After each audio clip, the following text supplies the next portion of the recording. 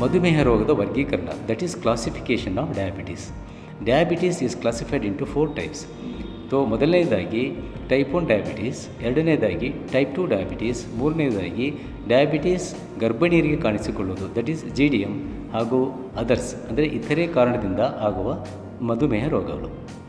So ಮೊದಲನೇದಾಗಿ type one diabetes ಅಂದರೇನು? ಈ ಟೈಪ್ ಒನ್ ಡಯಾಬಿಟಿಸ್ ಅಂದರೆ ಚಿಕ್ಕ ವಯಸ್ಸು ದಟ್ ಈಸ್ ಹುಟ್ಟಿದ ಮಕ್ಕಳಿಂದ ಪ್ರೌಢಾವಸ್ಥೆಯಲ್ಲಿ ಕಾಣಿಸಿಕೊಳ್ಳುವ ಮಧುಮೇಹ ರೋಗಕ್ಕೆ ಟೈಪ್ ಒನ್ ಡಯಾಬಿಟಿಸ್ ಎಂದು ಕರೆಯುತ್ತೇವೆ. ಇದರ ಸಾಮಾನ್ಯ ಲಕ್ಷಣ ಎಂದರೆ ಇದು ಸಾಮಾನ್ಯವಾಗಿ ಇನ್ಸುಲಿನನ್ನೇ ಅವಲಂಬಿಸಿರುತ್ತದೆ.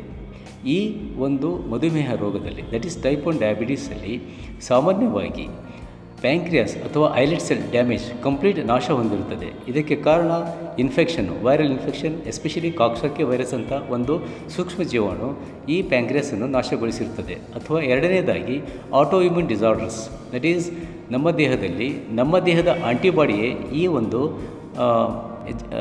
ಗ್ರಂಥಿಯನ್ನು ನಾಶಪಡಿಸುತ್ತದೆ. ಇದು ಆಟೋ ಇಮ್ಯೂನ್ ವೆರೈಟಿ ಅಂತ. ಇಂದು ಮೂರನೇದಾಗಿ, ಕೆಲವು ಕಾರಣ ಗೊತ್ತಿಲ್ಲದೇ ಇರುವುದು that is idiopathic type of type one diabetes mellitus ಹೀಗಾಗಿ ಈ ಮೂರು ಕಾರಣದಿಂದ ಟೈಪ್ ಒನ್ ಡಯಾಬಿಟಿಸ್ ಸಂಭವಿಸುತ್ತದೆ. ಈಗ type two diabetes type two diabetes ಎಂದರೆ ಸಾಮಾನ್ಯವಾಗಿ ಇದು ನಾನ್ ಇನ್ಸುಲಿನ್ ಡಯಾಬಿಟಿಸ್ ಎಂದು ಕರೆಯಲಾಗುತ್ತದೆ.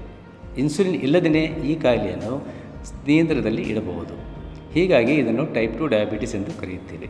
ಇದು ಸಾಮಾನ್ಯವಾಗಿ ಇಪ್ಪತ್ತೈದರಿಂದ ನಲವತ್ತು ವರ್ಷ ವಯಸ್ಸಿನ ಜನರಿಗೆ ಅದು ಸಂಭವಿಸುತ್ತದೆ.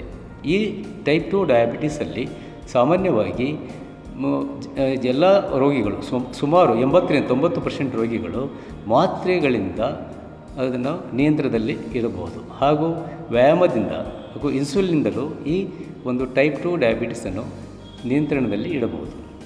ಮತ್ತು ಮೂರನೇದಾಗಿ diabetes in pregnancy that is G D M gestational diabetes ಈ ಡಯಾಬಿಟಿಸು ಸಾಮಾನ್ಯವಾಗಿ ಆರರಿಂದ ಏಳು ತಿಂಗಳಲ್ಲಿ ಕಾಣಿಸಿಕೊಳ್ಳುತ್ತದೆ. ಈ ಒಂದು ಮಧುಮೇಹ ಹೆಣ್ಣು ಮಕ್ಕಳಲ್ಲಿ ಅದು ಗರ್ಭಾವಸ್ಥೆಯಲ್ಲಿ ಕಾಣಿಸಿಕೊಳ್ಳುವುದು ಇತ್ತೀಚೆಗೆ ಅತಿ ಹೆಚ್ಚು ಹೆಚ್ಚಾಗಿ ಕಾಣಿಸಿಕೊಳ್ಳುತ್ತಿದೆ.